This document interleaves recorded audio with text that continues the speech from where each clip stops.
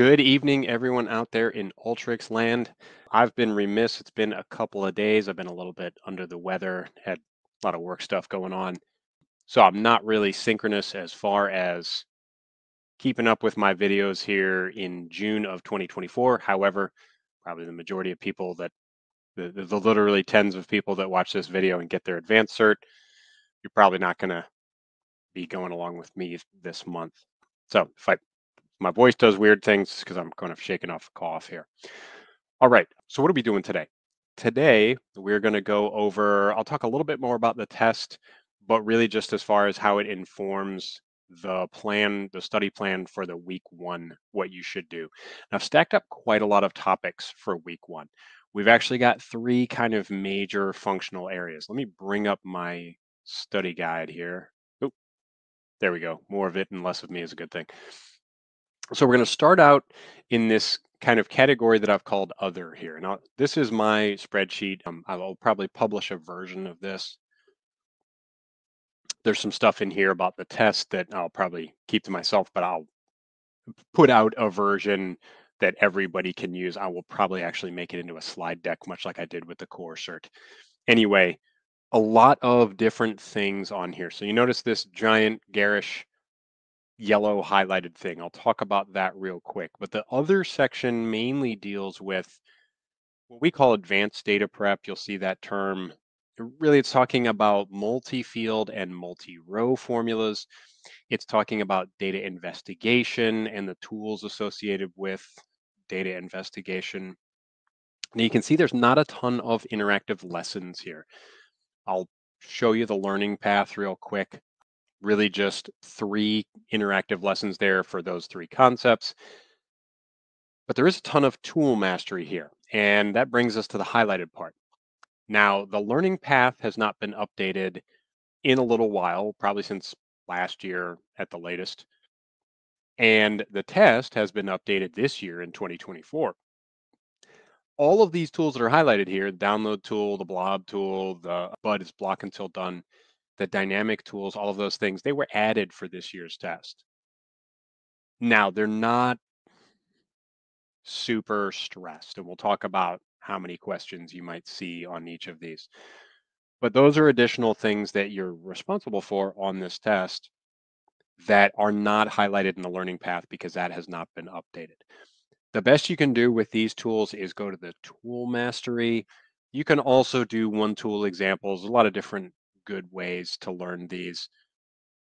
But just suffice to say, if you only go through the learning path, path, you are going to kind of blank on some questions because you won't see these coming. You'll see them in the study guide that just has been updated with the test. However, you won't have them in the learning path. So I've kind of, each of these times here, I just tried to sum up how much time investment we're looking at. For the interactive lessons, they are the times are however long it takes you to get through them. There's an estimate within the learning path of how long it takes to get through those. For tool mastery those are articles on the in the help site. Generally estimate about 10 minutes to get through each of those. Some of these were really short download blob and block until done. So i estimated those at five but really i tried to make it kind of a high end estimate of the amount of time you're going to have to invest you can probably read through these quicker than this 10 minute estimate and get down to the bottom. So what else are we doing? Well, there's there are videos with some of these. With this one, with the other section, the only video is for dynamic input. That's about 40 minutes. You probably don't really need to go through all 40 minutes of that video, but that link is here. I will post that with this video. And then there's a weekly challenge. This uh, Hero Formula Challenge number 122. It's pretty simple. It's not going to take you 60 minutes to do it. It's a fairly small workflow. It just gives you some practice using the multi-row formula tool. And then the other topic, so that's the other category. The other topic that I included in this week because it's just, it kind of doesn't fit anywhere else is regex. Um, so the parsing but really it's just the only additional parsing tool we're going to use is the regex tool. Regex is a huge topic that you can see there are a ton of interactive lessons for this, one for each of the regex functions, one for red doing regex with XML code, one for doing regex with JSON files. There is a tool mastery. There's only one tool, so there's only one tool mastery for this one. And then there is a weekly challenge. This is also a very simple weekly challenge. I'll show you these, just kind of start them off, and then I'll, I'll do videos working through some of these a little bit later. And then I may, pardon me, I may include a couple of other weekly challenges. I tried to find some that were sort of intermediate, challenging. I couldn't find many that actually required you to use that tool, but also were kind of approachable and advanced level level. That's really kind of an intermediate difficulty when you come to weekly challenges. I'll keep hunting. I may change during the week, but I'll probably work through these weekly challenges in separate videos during this week. Okay. Now there is there are big kind of omnibus videos for a lot of these segments. There is one for regex. It also does include part of the uh, advanced data prep. It will go over multi-row, multi-field formulas and regex with a, one of our Alteryx CSMs or some some kind of professional instructor teaching the package. So I'll show you where to find that. Okay, so that's the study guide. Let's go ahead and all right, so we're in Alteryx community. What's going to be kind of go-to to study all this stuff? It's going to be go to support, not sorry, learn academy, and you're going to go to learning paths. All right. So from community.alteryx.com, learn academy, learning paths. And That's going to take you to this page. Should look fairly familiar if you did the 30 day core challenge. Right here, that was the getting started learning path. Now, if you remember the getting started learning path is very sequential, very linear. Do this, then this, then this, then this. It had kind of little drop down menus, but it was all kind of in order. That's because those skills sort of built on each other. That is not the case with the advanced certification. As you, we go in here, we're going to see it's kind of a blob, right? It's a little cloud of things to do.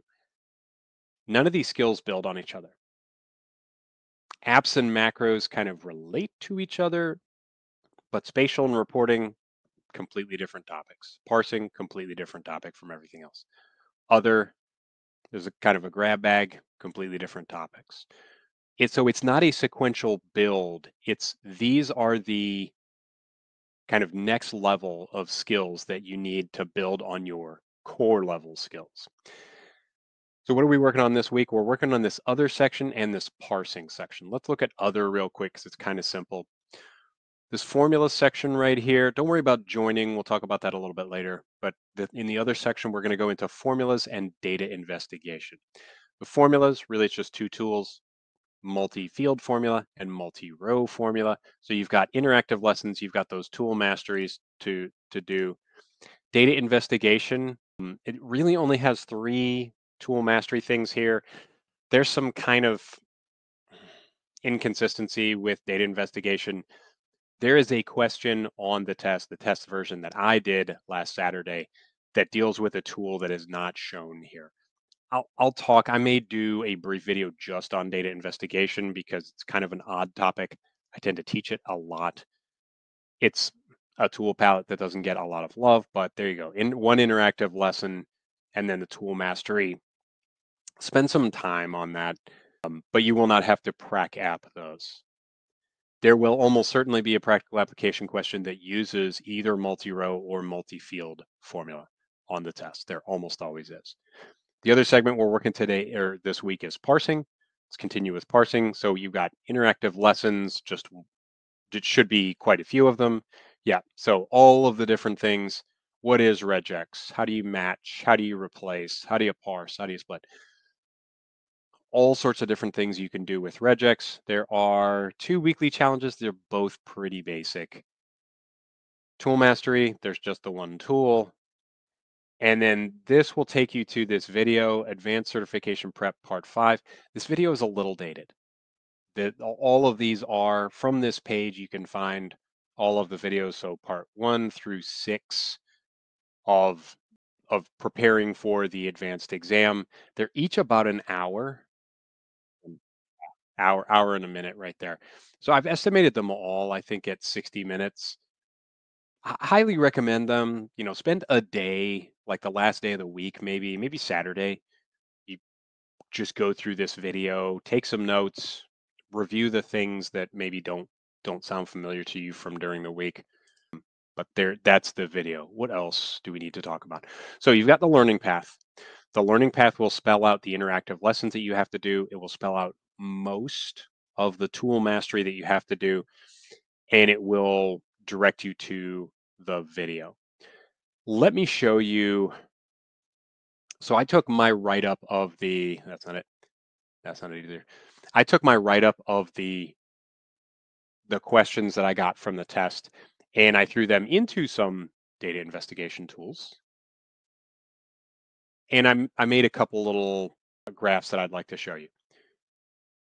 Here what we have is this is a summation of the questions. Now in the study guide and the prep, I think they break it down into, you've got practical application, which I don't want percent, I want frequency.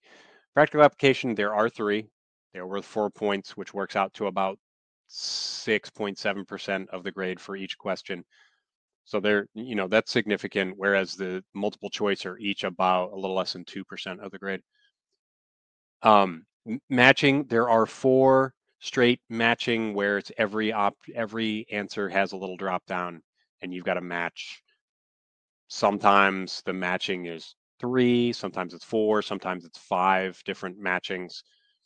And then multiple choice, I counted 44. I think in one of the study guides, it shows those as different.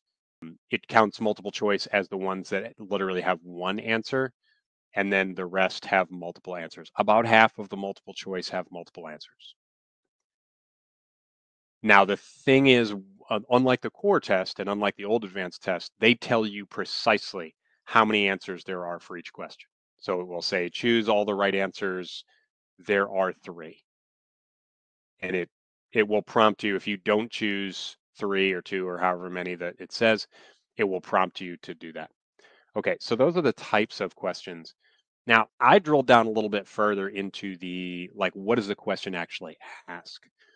The the most the biggest one is what kind of configuration is going to get this result?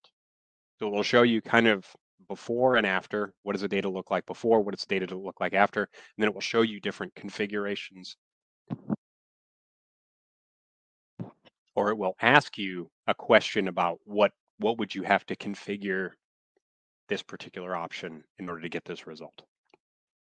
Capabilities, there are 10 of those. So there's 17 of those. What configuration will get this result? There are 10 questions about capabilities. What are what are all of the tools that have capability X? What are the three things that the field summary tool can do? Whatever. So capabilities of the tool. There are seven questions that ask you which tool or capability can do this thing. Um, so it'll show you something that's been done and we'll say which tool did this. Um, or sometimes it's which capability within designer you know, what was changed within configuration. There are four questions that ask um, which of the following are true. There are four questions that show you a result, uh, show you a before and after, and then ask you what which workflow got this result. I'll show you different examples of workflows. Or we'll ask you which tools were involved. Okay, NA, uh, those are the prac apps. Matching, those are the matching questions, easy enough conceptual questions. There was one conceptual question. There was one that um, was a result from a configuration, and there one that asked what will the output be. Uh, but those were not terribly common. Oh, those are ones. excuse me. Those are ones I marked for review. Okay, so which tool is this about? I won't go over that one, but topics. This is something that I, you know, should cover. So the heavy hitter topics, and this does include practical application questions. The heavy hitter topics are input, output, macros, reporting, spatial. Each of those had six questions. Some of those include practical application. There were five questions on apps. There were two questions on developer tools, which we'll talk about in other. the, the dynamic tools. So developer tools, four questions. That's a whole lot of questions to not be included in the learning path. So you need to focus on that. You need to know what the developer tools do, particularly the dynamic tools. Check my list here. Yeah, particularly the dynamic input, dynamic select, block until done, um, and then blob connect. There's a question on that. Okay. So dev tools is big. Interface we're not doing on this one. Prep tools, there were three questions on those. So developer tools four, prep tools three, and then two questions on parsing. Okay, to include at, at least one of the practical applications dealt with this section. So you need to work this hard. You need to understand how to use regex and you need to understand how to use those multi-row, multi-field formulas for sure. Okay. All right. That is my report on the test. Now, what I'm not going to do here is I'll, I'll talk I'll talk about weekly challenges here to close this out. What I'm not going to do this time in this 30-day challenge is, is do a lot of hand holding. Last time I did kind of these extensive 45 minute to an hour videos, and a lot of it was kind of me watching. There was a whole lot more kind of practical application things within the learning path. I did a lot of those. It was a lot more of me kind of going through instructions, going through kind of how to do the you know all of the things in the uh, in the interactive lessons. I'm not going to hold your hand with that. I assume at this point if you're doing the advanced certification, you've already done core, you already have kind of a study method, you're good with that. So I've listed out what you need to do in addition to, that's not it, in addition to the learning path, make sure you do the tool mastery. Go ahead and, you know, pause this, take a screenshot, whatever. Let me zoom in a little bit more. You can go to, you can find the tool mastery index. I will post that link. And but make sure you go to and find these tool mastery articles. Download, blob, block until done, the dynamic tools, the directory tool, and the association analysis section. Okay. Yeah, I listed association analysis twice. Silly me. Anyway, the rest of these, uh, this one here, like make group, don't see it on the study guide anymore. It's still on the learning path. I don't think you probably need to do that. I'm going to do a strike through here or something like that. We'll, we'll let it go. But yeah, just word of the wise, make group, not there. Pearson correlation is on there. Spearman correlation is not on there. Definitely look up the one tool example of the Spearman correlation. Trust me on this. Look up the Spearman correlation. Okay. Yeah. So last things last, let's talk about so there are two workflows recommended for weekly challenges. Like I said, I went back and forth on this. These are very simple. The both of these can be knocked down in five, six tools. This is not to say that you'll be that efficient, but it is easy, possible, and fairly simple to do. This 207 here, um, this is a video game data set. I thought I ran this. Okay, so let's just take a quick look at the data set. This is the one they recommend for regex. And what you've got here is you just got a horrendous jumble of data. And so you need a regex function to go through there and parse out whatever the data is they're asking you for within this. It's not too complicated. What, how, how much data do they actually ask you for? Parse the data provided below into columns. Okay, so you pretty much just have to parse it all out. Now, you can do this simply in one regex function. You can write, write one grand regex string. You can break it up into multiple parts. Maybe that'll give you a few more reps. I don't know. But yeah, take this one down with, with regex. Don't try and bash your head against the wall and do it with text to columns. So time, time to master regex. So, okay, 207 is not actually that bad. That will take a pretty, a pretty decent regex string of characters there to to bust that thing up. The other one they recommend is Weekly Challenge 122.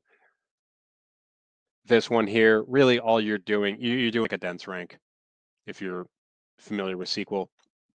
So it does take, there are various ways to do this. You should do it with a multi-row formula. When when I do a video showing this, I'll bust it up with a with a multi-row formula. But essentially you want to take this rating right here, this kind of sequence of numbers of which there some are sequential, some are there's there's a few of them, and you want to basically you want to in descending order, you want to give it a dense rank. Easy. Okay, so yeah, that's it. Best way to take it down is with a multi-row formula, and that's what you should do. Figure out how to kind of reference rows above and below the row that you're in. Okay, so that is, I mean, that's a little longer than I probably intended to. I meant for this to be about a 15 minute video. That's fine. There was a lot of some some kind of rehash from the test, and there was some kind of orientation of kind of how we want to do this. But that is the basic study plan for week one. Go to the learning path, do all the interactive lessons, do the tool mastery. Uh, make sure you read up on the tools that are not covered in the learning path hit that video. It's about an hour, and then do the at least those two weekly weekly challenges. You can easily go and search for more weekly challenges. Just go search for multi-row formula, multi-field formula weekly challenge. Best way to do it is in Google. Our our search engines are not great. But go into Google and look for Alteryx weekly challenge multi-row formula. You'll get a handful of examples. I will try and dig up some more that I've done that maybe are a little more challenging than this one right here. Maybe they require a, a handful of other tools for prep because the the challenges that you're going to get on the test are not going to be kind of one trick ponies.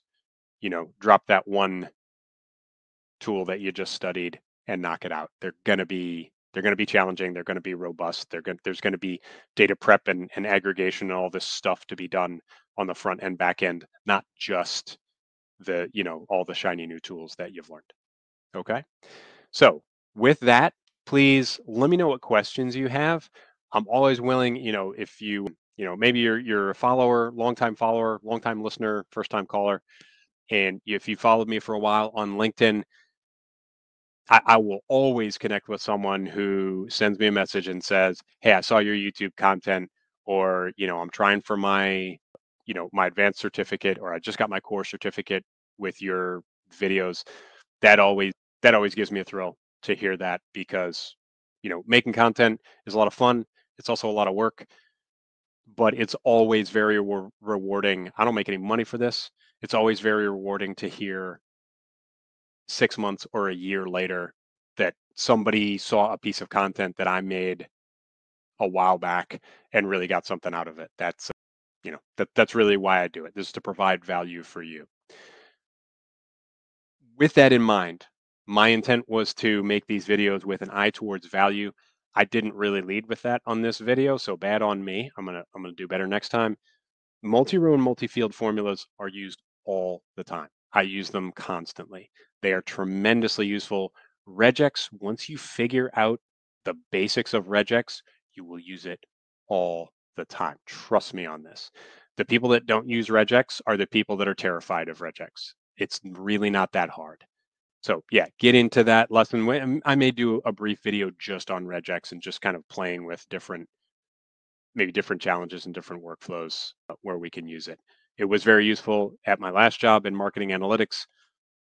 I don't really do head down analytics anymore, so I can't say it's that useful at my job. I do teach it quite often. I taught it at Inspire this year and last year. Wonderful class. I think I'm good at teaching it.